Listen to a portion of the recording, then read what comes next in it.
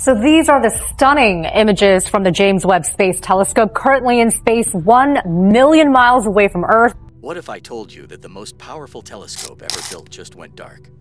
The James Webb Space Telescope, our eye into the deepest reaches of space and time, has suddenly shut down. But before it did, it sent back one final image that's left scientists stunned. You're about to see what could be the last glimpse we get of the early universe for a long time. This isn't just about a piece of technology failing. It's about losing our window into the origins of everything we know. The James Webb Space Telescope has been our most advanced tool for peering into the cosmos. Since its launch in December 2021, it's been sending back mind-blowing images that have changed how we understand the universe. But last week, Mission Control lost contact with the telescope. At first, they thought it was just a temporary glitch. Hours turned into days, and still nothing. The JWST team tried every trick in the book to re-establish connection, but the telescope remained silent. As panic set in, scientists rushed to analyze the last batch of data sent by Webb before it went dark. Hidden in that data was an image that has left the astronomical community in awe. The image shows a cluster of galaxies so ancient, they shouldn't even exist according to our current models of the universe. These galaxies appear to have formed just 100 million years after the Big Bang. That's less than 1% of the universe's current age. Dr. Sarah Johnson, lead astronomer at the Space Telescope Science Institute, couldn't believe her eyes when she first saw the image. It's like looking at a baby picture of the universe, she said, but the baby is already walking and talking. It doesn't make sense.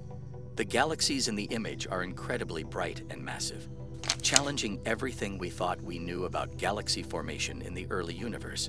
Current theories suggest it should have taken billions of years for galaxies to grow this large and luminous.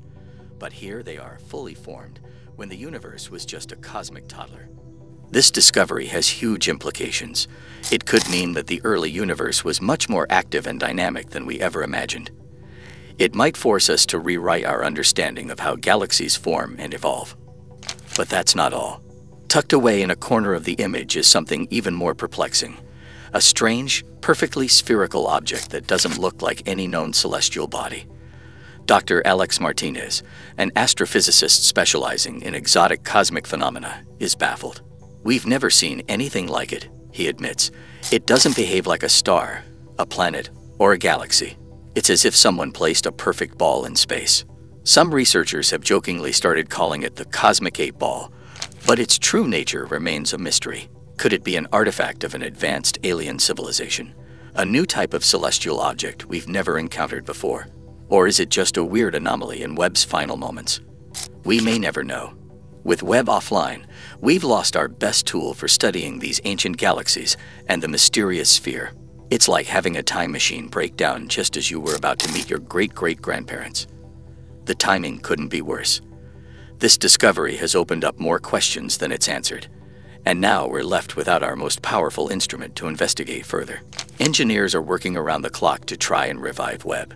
They're sending commands, attempting to trigger emergency protocols, even considering the possibility of a space mission to physically repair the telescope. But given Webb's distance from Earth, about a million miles away. A repair mission would be incredibly challenging and expensive. The scientific community is holding its breath. If Webb can't be brought back online, it could set astronomy back by decades.